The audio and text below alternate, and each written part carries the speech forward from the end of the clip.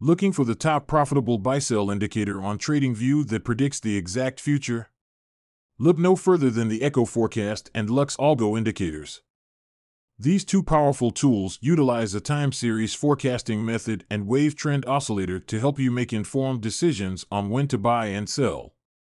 Whether you're a beginner or an experienced trader, the Lux Algo strategy and Echo Forecast indicator can help you optimize your scalping strategy with their reliable and accurate signals.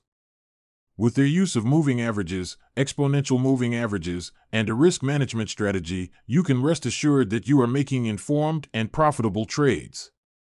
Don't waste your time with other TradingView indicators and strategies.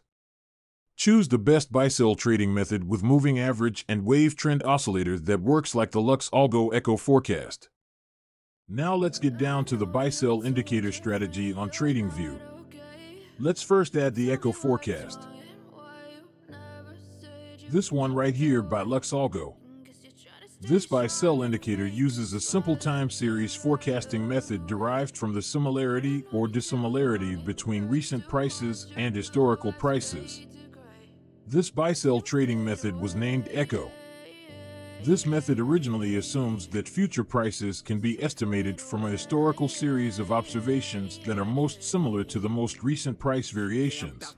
Such an assumption can prove to be relatively effective with the forecasting of a periodic time series.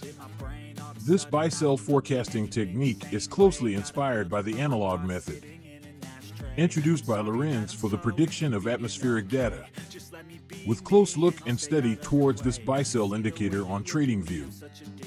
We all know that since the Echo Forecast tool by Lux Algo predicts its data based on similarities or dissimilarities from past data, the Trade Beta team decided to create a very profitable strategy that would not only grow your capital, but as well use moving averages as the best buy sell indicator on TradingView to predict the actions of professional traders.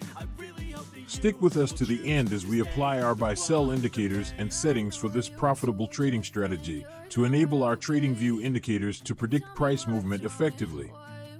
Now on the TradingView indicator panel, search for the moving average. I want you to add this exponential moving average created by TradingView. Then also search for the indicator wave trend oscillator. This one right here by LazyBear. Now we have both buy and sell indicators on the chart. Double click on the exponential moving average. On its input, change the time frame to 1 hour. Then also change the length to 21, as well as changing its offset to 20. On the style, change its color to white for better visualization. Click on the OK button to fully apply the settings. The exponential moving average, EMA, is a specific type of buy-sell indicator moving average that points towards the importance of the most recent data and information from the market. We configured this TradingView indicator in such a way that we can notice that the moving average is way ahead of the candlestick. This was made possible due to the inputs on the offset, thereby making it possible to predict future buy and sell price movement. But don't get caught up on that. These are just previous candlestick movements ahead of the candlestick. And now, for our second buy sell indicator on the chart, double click on it for its settings panel. Adjust your settings according to what you see on the chart.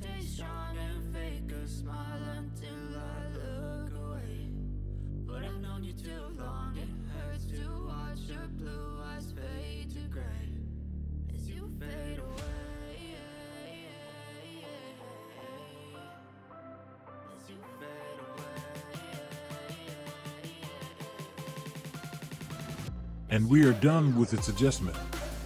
Initially, how this buy-sell wave indicator works is this. When the oscillator is above the overbought band, red lines, and crosses down the signal, dotted line, it is usually a good sell signal. Similarly, when the oscillator crosses above the signal when below the oversold band, green lines, it is a good buy signal. But with the recent configuration made on this indicator wave trend, we still take trades at some levels of the band line and avoid trades at some other level. And the question remains, how do traders make use of this buy-sell forecasting indicator when trading? Well, it's simple. First, we need our candlestick to close below the buy-sell moving average. When we have this, we only take sell trades as long as price remains below this moving average. Yeah,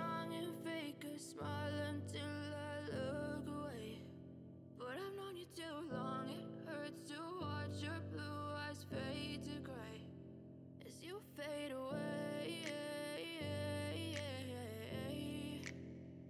As you fade away.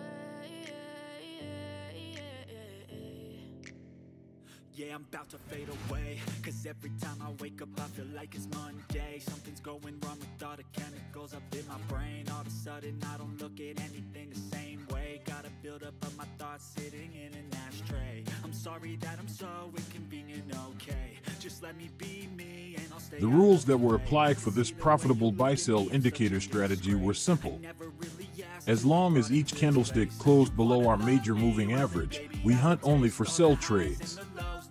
We only enter a short position when we have our buy-sell wave trend cross above the zero line. Again, we only enter trades when we have the buy-sell signal line cross below the wave trend oscillator while above the zero line. When we have the cross above this upper band line, we do not take trades. The cross is valid only when it crosses above the zero band line while having its signal cross below this upper band line.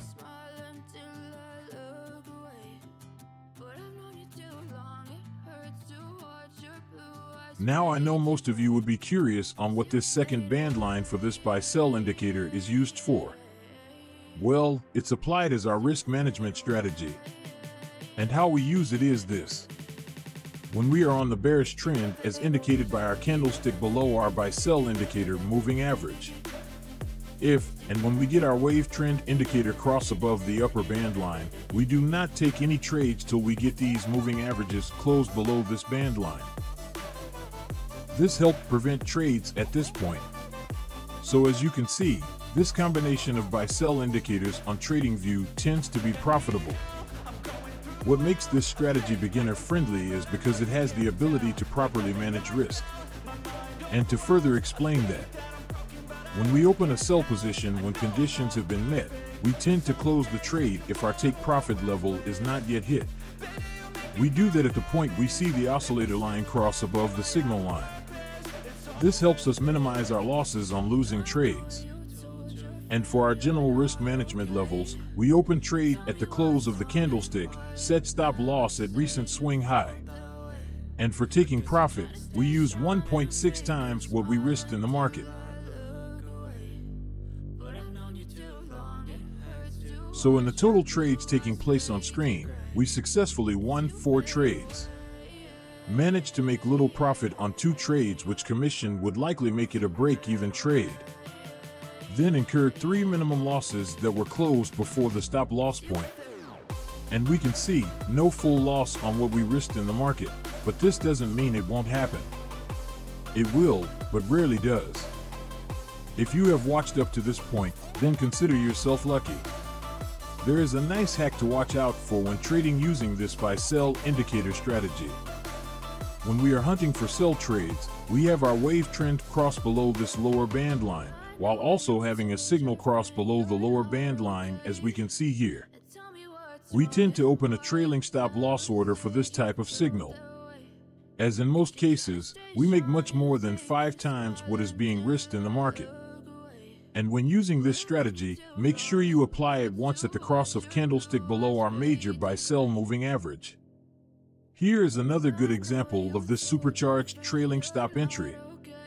So we see we met our conditions here, as candlestick newly closed below our major buy sell indicator. Also, we notice the wave trend signal line aligns with what we hunt for. If we entered this position at this candlestick,